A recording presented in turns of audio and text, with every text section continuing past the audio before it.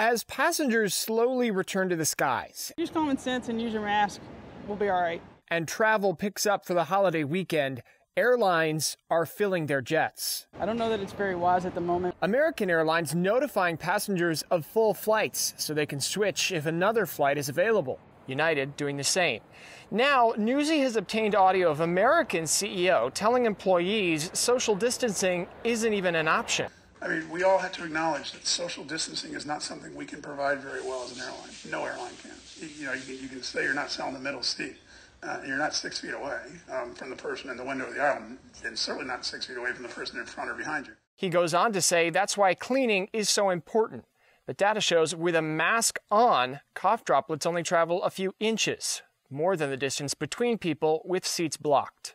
That's the reason why I'm flying Delta is because they're keeping one seat in between all passengers, and so I feel a lot more comfortable doing that than being like completely booked in an airplane. Airlines like Delta and Southwest are blocking middle seats through the end of September when government stimulus money runs out. After that, they need to make up losses, and all the major airlines are looking at deep cuts. Things have to improve quickly over the summer, and if they don't, we'll have to radically restructure Southwest Airlines.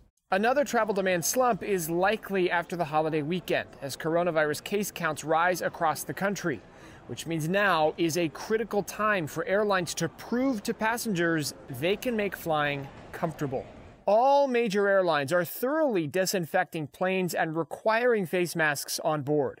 Frontier and Hawaiian Airlines will even check your temperature. These airlines will ask you to verify you're healthy before you even get to the gate.